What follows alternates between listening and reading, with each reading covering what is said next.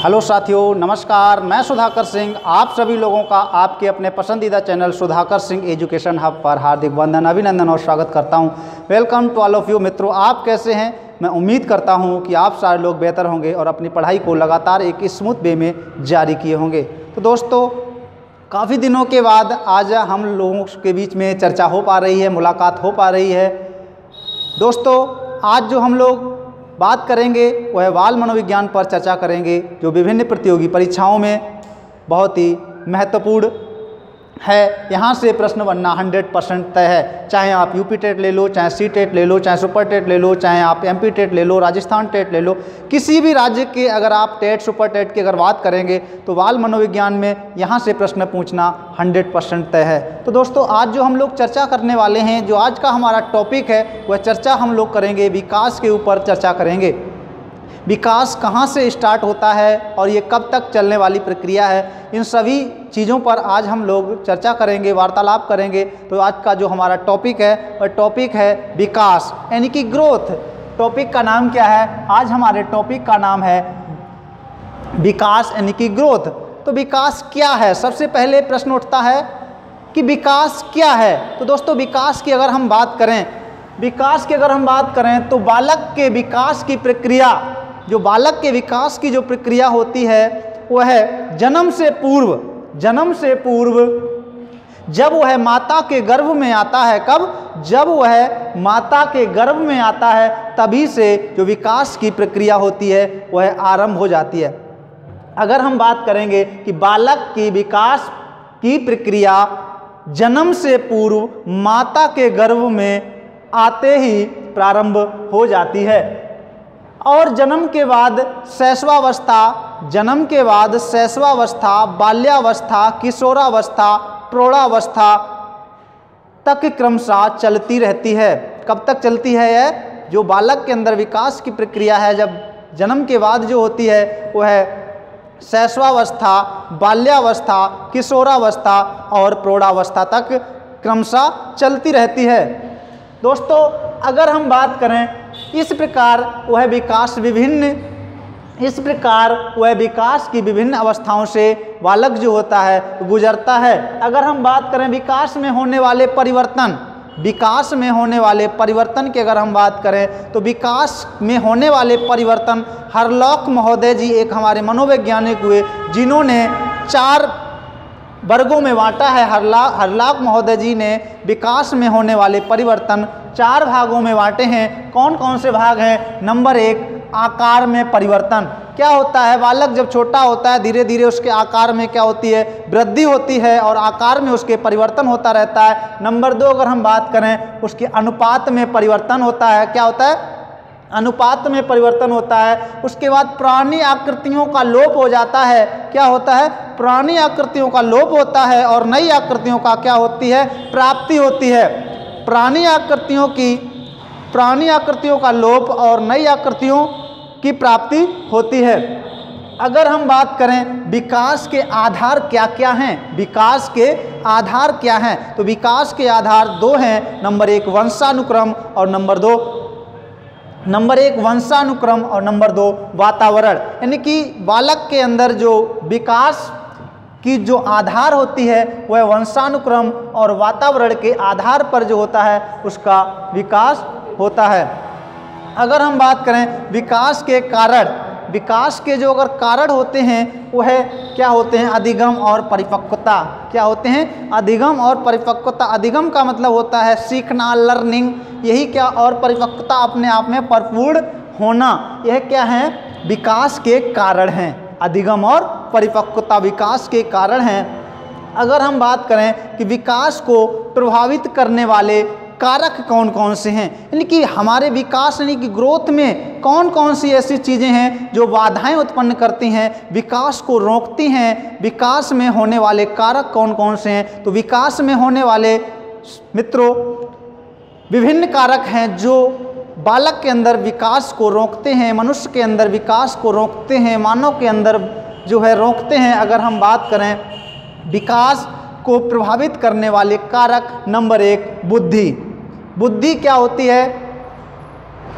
बुद्धि कम ज़्यादा भी होती है, इससे भी क्या होता है? बालक का, बालक के विकास में यह कारक होता है नंबर दो, यौन, नंबर तीन, अंतस्रावी ग्रंथियाँ, नंबर चार, पौष्टिक भोजन।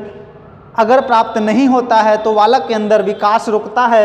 नंबर पाँच अगर हम बात करें, यदि शुद्ध वायु और जो है प्रकाश अगर नहीं मिलता है तो बालक के अंदर, मनुष्य के अंदर विकास रुक जाता है। नंबर छः रोग और चोट अगर लग जाते हैं, आपने देखा होगा, कोई भी छात्र हो, अगर उसको रोग, चोट अगर कुछ है, जिसके मानसिक तनाव के कारण वह बालक के अंदर जो है विकास नहीं हो पाता है। अगर नंबर सात की अगर हम बात करें, प्रजाति नंबर आठ, संस्कृति नंबर नौ परिवार में स्थान क्या है? ये मुख्य चीज़ें हैं जो बालक के अंदर विकास को प्रभावित करने वाले कारक हैं। क्या हैं? ये बालक के अंदर विकास को प्रभावित करने वाले कारक हैं। अगर हम बात करें, विकास की अवस्थाएँ क्या क्या हैं? विकास की अवस्थाएँ क्या क्या हैं? तो विकास की अवस्थाओं की अगर हम बात करें तो सामान्य रूप से सभी मनोवैज्ञानिकों के अनुसार विकास की अवस्थाओं को निम्न रूप में वर्गित, वर्गीकृत किया गया है। विभिन्न मनोवैज्ञानिकों के अनुसार जो है विकास की अवस्थाओं को निम्न रूप में वर्गीकृत किया गया है। नंबर एक, हम बात करें प्रारंभिक बाल्यकाल। प्रारंभिक बाल्यकाल की जो अवस्था होती है, वह जन्म से लेकर के बारह वर्ष तक की होती है। कितनी? जन्म से लेकर के बारह वर्ष की जो अवस्था होती है, वह प्रारंभिक बाल्यकाल कहलाती है। पूर्व किशोरावस्था जो 12 वर्ष से लेकर के 16 वर्ष तक की होती है। नंबर तीन, अगर हम बात करें किशोरावस्था 16 वर्ष से लेकर के 21 वर्ष की जो अवस्था होती है, वह क्या कहलाती है? किशोरावस्था और वयस्क का, वयस्क अवस्था जो होती है, वह 21 वर्ष के बाद की जो अवस्था होती है, वह वयस्क अवस्था कहलाती है। अगर हम बात करें कुछ मनोवैज्ञानिकों ने प्रारंभिक बाल्यकाल को निम्न वर्गों में बांटा है। कौन कौन से वह निम्न वर्ग हैं जिनमें कुछ मनोवैज्ञानिकों ने पूर्व बाल्यकाल को बांटा है? नंबर एक अगर हम बात करें, शैशव, जिसे हम इन्फेंसी के नाम से जानते हैं, जिसे जन्म से लेकर के तीन बरस की उम्र जो होती है, वह क्या कहलाती है? शैशव इन्फेंसी कहलाती है। नंबर दो, अगर हम बात करें तो पूर्व बाल्यकाल की जो उम्र होती है, वह तीन बरस से लेकर के छः बरस तक की जो उम्र होती है, वह पूर्व बाल्यकाल कहलाती है। नंबर तीन, अगर हम बात करें तो उत्तर बाल्यकाल, जो छः बरस से लेकर के बारह बरस की जो उम्र होती है, वह पूर्व बाल्यकाल कहलाती है। अगर हम बात करें अध्ययन की दृष्टिगत को देखते हुए डॉक्टर अर्नेस्ट जॉन्स महोदय जी हैं, जिन्होंने डॉक्टर अर्नेस्ट जॉन्स महोदय के अनुसार किया गया वर्गीकरण सर्वाधिक उपयुक्त माना गया है। किसका? पूछा गया पूछा जाए कि जो डॉक्टर अर्नेस्ट जोन्स के अनुसार वर्गीकृत किया गया जो अध्ययन है, उसके बारे में अगर हम बात करें तो डॉक्टर अर्नेस्ट महोदय जी ने जो बताया है सबसे पहले उन्होंने कहा है कि सबसे पहले नंबर एक शैशवावस्था जो होती है, वह ज़ीरो से लेकर के पाँच वर्ष या छः वर्ष की अवस्था जो होती है, वह शैशवावस्था कहलाती है। कहीं कहीं पर आपको मिलेगा किताबों में ज़ीरो से पाँच वर्ष की उम्र को शैशवावस्था कहा जाता है और या ज़ीरो से छः वर्ष की उम्र को शैशवावस्था कहा जाता है। ये किसने कहा है? डॉक्टर अर्नेस्ट जोन्स महोदय ने कहा है, ज़ीरो से लेकर के छः वर्ष की उम्र को शैशवावस्था कहा गया है। नंबर दो, अगर हम बात करें तो बाल्यावस्था।